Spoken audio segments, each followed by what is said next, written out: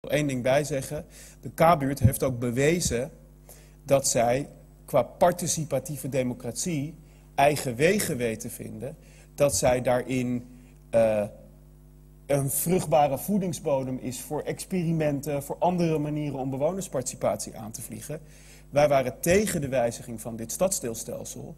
Maar nu dat het gewijzigd is, is inzetten op andere participatievormen, coöperatiever en niet hier zijn twee plannen en u mag stickeren, denk ik een hele goede weg. En ik heb in Amsterdam nog geen buurt gezien waar daar de tijd zo rijp voor lijkt dan de K-buurt. Dus wil de wethouder vragen, denkt hij dat het mogelijk is om zonder alles wat er al gedaan is door de wijde blik en het stadsdeel, wat niet waardeloos is, in de prullenbak te gooien, toch nog een participatietraject te beheren waarin meer ruimte is en ook diversere stemmen aan bod komen.